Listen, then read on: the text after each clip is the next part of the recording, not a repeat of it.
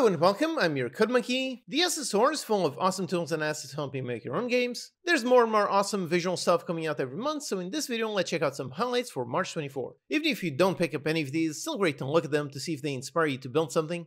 Just watching some of these assets is enough to fire up my imagination. I can immediately picture all the kinds of games that I could build. This one is the list of paid assets and effects. I've already made two videos covering the best free new assets and the best tools and systems. As always, there's links to the assets in the description, and as a bonus, you can use the coupon code CodeMonkey10 to get 10% off your order. By the way, I'm currently working on a fun selling video for tomorrow, so definitely stay tuned for that.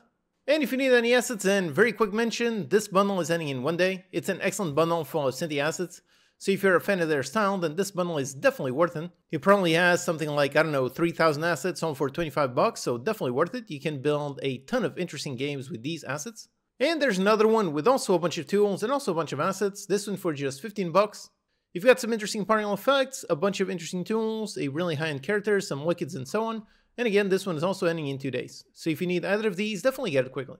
Alright, so starting off with a really awesome sci-fi dinosaur. This is a really high quality model. Personally, I love the design. It comes with 3 skins and 26 animations, so I could see this one being perfect if you're making some kind of game inspired by Horizon Zero Dawn. Or if you're building a survival or garden management game, if so, here are a bunch of tools. There's quite a lot of variety in all of this. I don't even know the name for half of these tools. You've got some hammers, there's a bunch of axes, there's some shovels, some rakes, and also a really nice wheelbarrow. Next, if you want characters with tons of customization, then check out this one. It's a huge pack with over a thousand modular pieces, allowing for near infinite variation. I use a pack just like this one in my own game, Dinky Guardians. If you want to know how I built the character customization system, then check out my tutorial for it. You could use that exact same system and use it as a base to apply it on this asset. Then for some fun VFX, here are some map trackers. These are really cool, would be great for all kinds of use cases. Right away, it makes me think that it would be perfect for an RTS to control some units, or maybe something like Diablo, some top-down action game. It has 24 effects with lots of shapes and colors to represent whatever you want.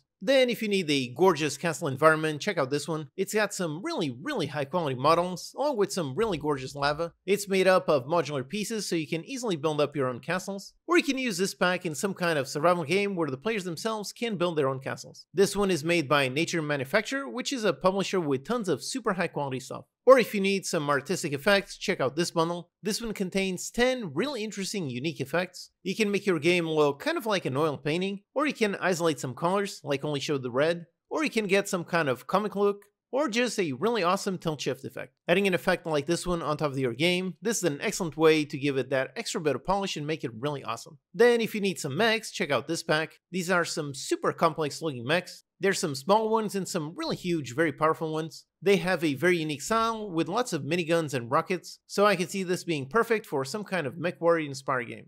Or if you're into something a bit more spooky, then check out this horror prison. It looks extremely creepy. If you're interested in making some horror prototype, then this would be a great level you can just use straight up. You can just get a first person controller, you add some spooky music and some scary monsters, and right away you have something fun and scary to play with. Then if you need some animations, check out this parkour animation set. These are all very cool animations. You've got lots of slides, jumps, rolls, front flips, and of course lots of falls. So if you'd like to make your own game, kind of like Assassin's Creed or Mirror's Edge, then this would be perfect. Next, if you're into making some automation game and you'd like some visuals, check out these really nice machines. All in a nice and inviting low poly style. It features 21 machines, all with their own animations, also includes conveyor belts and lots and lots of props. So great pack for any kind of automation prototype. Or if you're making a post-apocalyptic game, then check out this command center. My first thought when I saw this one is that it looks just like The Division, so this would be perfect for some game where society has crumbled and this is your command center. Or maybe with some interesting lighting, this could be a fun level in some sort of horror mystery game where you gather some unique items. Then if you're going for something military, check out this huge sniper rifle. It's a high caliber rifle with hands and first person animations. You've got idle, run, inspect, shoot, zoom, and a bunch more. If you like this pack, then this dev has tons more weapons and animations. Next, here's a fun one. It's a globe. However, this one isn't just visual. It has some logic to place objects on specific points in the globe. This one comes with 3 globes and 8k textures. Or maybe instead of an entire world, you just need a futuristic city. Look at this one. It looks very sleek, very clean. It's all futuristic, but not too sci-fi. This one contains a ton of buildings with lots of modular parts so you can build your own. Next, for a fun visual effect, check out this world scan. It starts a scan running outwardly from a point. It expands and attaches to any geometry. It also includes some scripts in order to highlight some objects, so it identifies if the scan has touched those objects, and if so, it shows their distance. So this could be great for some kind of detective mode in your game, some kind of radar scan to find all kinds of enemies and objects. Then if you're making a 3D platformer and you need a level, check out this one. It's got all the things you expect from a 3D platformer. There are coins, enemies, hammer swinging, there's things to push you away, some cannons, there's some stars and even a trophy at the end. This one has a winter theme which looks really great. And if you like this style, the Distaff has tons more platform packs. These are really great if you want to quickly get a prototype working. Next, if you need some UI elements, check out this super casual pack. It looks exactly like you expect. There's lots of bright colors with some solid shapes. There's plenty of buttons, sliders, trophies, icons, joysticks, and a bunch more. Or maybe you'd like to make your own game, kinda like The Sims. If so, here's a pack with a ton of interiors. They look quite dirty, so this would be great for some kind of post-apocalyptic sims. You've got beds, couches, tables, and all of it looking quite worn down, but also really great.